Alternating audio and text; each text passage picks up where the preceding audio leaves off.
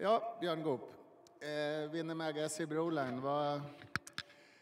Ni hade lite att jaga i fatt. Den som flydde undan där ett tag. Ja, han var ju ambitiös och kör på i tempo där framme, men det gick ju lite för fort och det syntes ju att, eh, att det tempo kanske inte skulle orka hela vägen. Men det är klart, det blir lite taktik utav det hela. Man vill inte hamna bakom den när den blir trött heller såklart. Så att det, det var lite taktik på det sättet. Det var andra starten för Agassi. Vad kan du säga? Du var två på Åby och seger här. Vad har du att säga om hästen? Jag tycker det har varit en jättefin häst hela tiden, men han har varit sen. Han har växt jättemycket och sådär inte orkat med sig helt enkelt kan man säga. Och, eh, jag väntade på honom länge och sen så körde jag väldigt snällt första starten bara så han fick en bra erfarenhet. Och eh, ja, det kändes som att han var mer mogen idag och mer liksom förstod bättre vad det gick ut på och starkare och bättre överhuvudtaget. Så det, det är fint.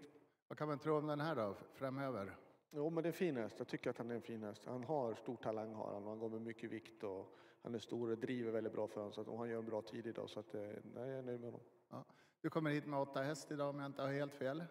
Ja, precis. Åtta eh, vad kan vi förvänta oss av kvällen när du har slagit den här tonen? Jag hör så dåligt. Vad kan du förvänta mig av resten av kvällen?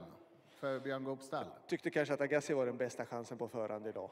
Eh, och sen astronauten är också bra, men han har haft lite, lite sviktande form de sista loppen. Men han har tränat bra känns jag utan att vara liksom direkt vässad. Och han har ett bra utgångsläge, ett bra lopp. Så det är klart jag hoppas att han ska kunna vara med där framme.